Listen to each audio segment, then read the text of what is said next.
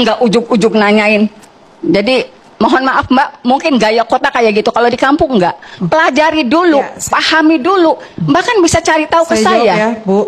terus viral harus terus eh, ada gitu ya diangkat sampai tiga pelaku tiga dalangnya diangkat nggak tahu gimana caranya the power of netizen kita harus cari tiga Enggak, enggak ada korban seperti saya-saya lagi gitu.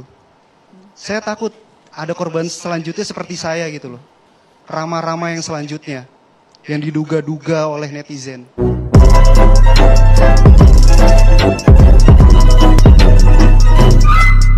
Halo guys, berjumpa lagi bersama Ray TV. Sebelum kita mulai, alangkah baiknya kalian tekan tombol subscribe dan jangan lupa kalian aktifkan tombol loncengnya agar kalian dapat notifikasi video selanjutnya. Langsung saja kita mulai. Check it out. Halo guys, ini ada perdebatan pengacara Saka sama pengacaranya Pina korban ya. Jadi sebenarnya mereka ini jangan dibenturkan menurut saya. Yang dibenturkan itu ya mungkin sama penyidik, sama polisi gitu membenturnya. Karena menurut saya mereka ini sama-sama korban gitu. Saka korban salah tangkap, Pina korban kejahatan gitu. Jadi banyak sekali asumsi-asumsi itu yang memojokkan orang gitu. Kadang mereka itu belum tentu salah. Ini langsung saja guys, kita tonton dulu. Ini dia videonya. Kaget tiba-tiba, kenapa baru sekarang? Saya fakta, dia fiksi. Akhirnya kan pusing, eh, saya yang emosi. Jadi idealnya, eloknya, seperti Bang Johnson, ketika akan bicara di sini, Bu boleh nggak lihat berkasnya? Harusnya kan Betul, eloknya begitu. betul, Biar tahu guys. kita posisinya di mana. Nggak ujuk-ujuk nanyain. Saya kan tidak tahu apa yang terjadi. Baik. Mau nanya ke siapa? Kalau pengacara kan biasanya nggak begitu cantik. Biasanya saya dipercaya kasus-kasus. Apa sih? Apa sih ininya? Kita cari tahu sampai di mana sih? Kalau perlu kan Mbak nggak ada urusan dengan saya. Loh kok Bu Titin punya berkas? Mbak kita bedah dulu yuk. Apa sih sebetulnya yang terjadi? Ini berkas ini berkas ini pernah dihadirkan di persidangan loh. Kita perdebatkan loh. Sambil saya tunjukkan ke layar Ibu. Kenapa sih mesti fiksi dulu, nanya dulu? Kenapa? Kenapa sebelumnya nggak cari tahu? Kan saya juga terbuka. Mbak, boleh nggak lihat berkasnya? Saya pengen tahu. Saya kalau kalau saya pengacara kampung, Mbak, biasanya begitu. Biasanya begitu. Kalau saya dipercaya satu kasus, tar dulu, kamu pernah nggak pakai pengacara lain? Coba berkasnya mana? Coba saya lihat deh, nggak ujuk-ujuk nanyain. Jadi mohon maaf Mbak, mungkin gaya kota kayak gitu. Kalau di kampung nggak, pelajari dulu, Ya, saya- pahami dulu. Mbak kan bisa cari tahu ke Saya jawab saya. ya, Bu. Saya jawab ya, Bu ya. Jadi kalau ada pertanyaan Mbak ke saya, Seru tidak guys. akan saya jawab. Ya udah ngapain Ibu ngomong kalau begitu. Di sini nih kita bukan berdebat, Bu. Saya diundang di sini ini mendengarkan, bukan berdebat. Kenapa Ibu jadi marah-marah? Langsung masuk ke pokok perkaranya, Ya. Bu Putri. Langsung masuk ke materinya. Jadi begini, kalau Ibu ini menyampaikan, Mbak tanya dulu berkas saya aja baru ketemu Ibu malam ini. Saya dapat nih berkas dari Pak Jody. Dapat saya berkas. Saya pelajari baru hari ini.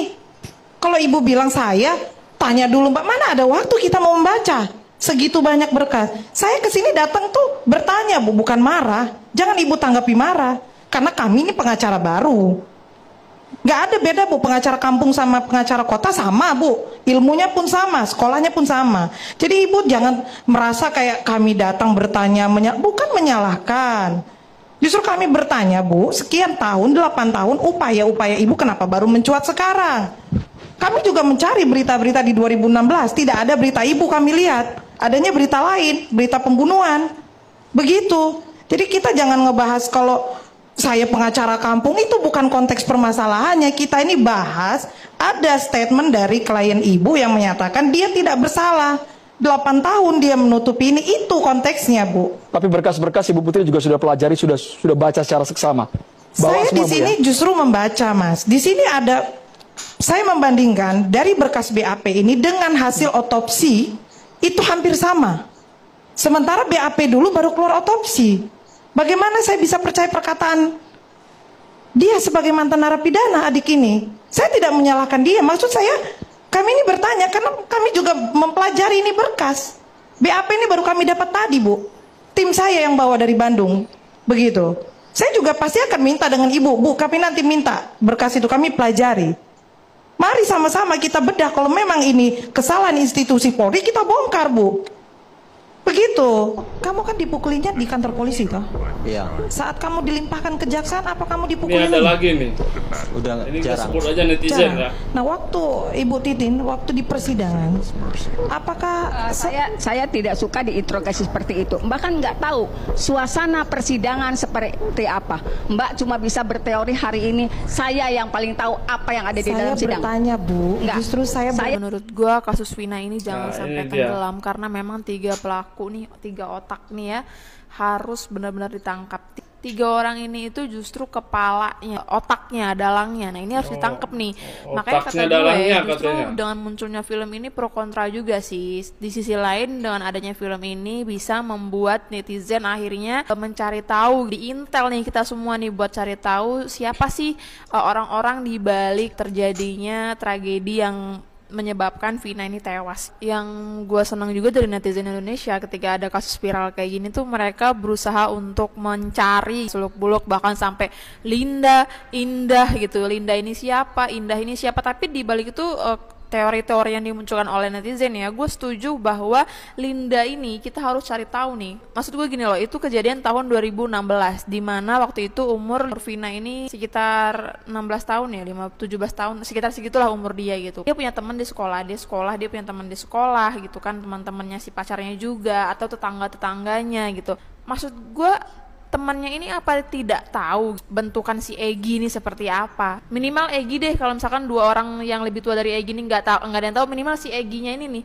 Si Eginya ini kita harus cari tahu nih bentuk masa orang-orang yang tetangganya si Linda atau temannya nggak ada yang tahu bentukannya si Egi kayak gimana. Bahkan polisi pun pas menargetkan itu jadi DPO ya nggak ada bentukan mukanya seperti apa. Makanya kata gua kasus ini jangan sampai redup. Justru harus terus viral harus terus eh, ada gitu ya diangkat sampai tiga pelaku tiga dalangnya diangkat. Nggak tahu gimana caranya. The power of netizen. Kita harus cari tiga orang ini nih. Walaupun kasusnya udah lama tiga orang ini tuh dalangnya otaknya. Apalagi yang si Saka Saka itu yang viral kemarin ya Saka yang tadi gua kasih lihat videonya di awal yang Saka itu terus banyak netizen yang akhirnya empati. Gara-gara dia katanya dikerasin dipukul netizen begini ya namanya penjahat itu nggak mungkin ada yang ngaku. Orang ngelakuin kejahatan itu itu nggak akan berani ngaku. Kalau dia ngaku penjara penuh. Kalau penjahat dielus-elus dikasih eh, jus di em, aduh di palanya dielus-elus dibaik-baikin dia mah nggak akan ngaku. Yang ada dia keenakan disimpan sendiri itu kejahatannya makanya namanya penjahat itu harus dikerasin juga dia berani ngerasin anak orang terus dia nggak mau ngaku ya cara dia biar kita biar dia ngaku gimana ya harus digituin jangan terkecoh kalau kata gue ya. Ini mbak-mbak ini apa katanya tadi? Kalau kejahatan banyak mengaku katanya penuh penjara. Aduh, itu mahal basi kayak gitu. Omongan kayak gitu. Yang mereka nggak lakukan aja bisa mengaku kalau lagi disiksa itu. Jangankan yang mereka lakukan, yang nggak mereka lakukan aja mereka terpaksa mengaku, mengaku-ngaku biar dia itu nggak kena siksa gitu. Dia juga menyebut katanya tiga DPO ini pelaku utama. Polisi aja masih mengatakan kata diduga. Kok dia udah mengejas mereka ini pelaku utama gitu kan aneh. Ada juga nih anak yang mantan bupati yang dihujat sama orang sampai diteriakin pembunuh. Sekarang dia udah keluar, anaknya polos begini gitu. 8 tahun berlalu anak ini masih SD gitu. Sedangkan netizen asumsi-asumsi netizen tadi udah sangat liar banget. Oh, tangkap itu pelakunya, dia anak bupati, orang yang punya duit bisa begini, bisa begitu. Kan salah. Banyak sekali asumsi-asumsi liar yang nggak terbukti gitu. Old MacDonald had a farm, E-I-E-I-O. Gitu. Aduh. Yang bisa saya Nah, lakukan. ini nih korban netizen yang apa pun tahu. itu. Saya ingin bantu. Saya berserta keluarga ingin membantu apa pun itu. Agar kasus ini segera terungkap. Agar nggak nggak ada korban seperti saya saya lagi gitu. Saya takut ada korban selanjutnya seperti saya gitu loh. Rama-rama yang selanjutnya yang diduga-duga oleh netizen. Ya. Jadi untuk saya stop di saya aja. Cukup di saya aja. Seperti itu. Kak Marliana, kami ingin suaranya sedikit. Kak Marliana, boleh bersuara dengan banyaknya mungkin tuduhan ke orang yang sudah membantah. Ia bukan pelaku sama sekali, tapi disangkut pautkan dengan kasus yang menimpa adik Anda, Kak Marliana. Sebenarnya saya juga kurang setuju ya. Eh, tolonglah jangan eh, menjas karena namanya sama terus di 100% di 100% kan dia pelaku. Kita cari tahu dulu kebenarannya mungkin mereka netizen puas setelah ngeliat ini gitu. Mereka dia udah dihujat, udah dicap sama orang yang nggak dikenal. Dia main dibully, dibilang pembunuh. Sekarang ternyata dia bukan gitu pelakunya gitu. 8 tahun berlalu dia masih SD gitu. Asumsi-asumsi netizen tuh udah liar banget terhadap dia itu gitu. Makanya netizen itu udah kalau nggak tahu udah jangan terlalu berasumsi yang berlebihan gitu. Kasihan orang gitu. Itulah dia guys videonya.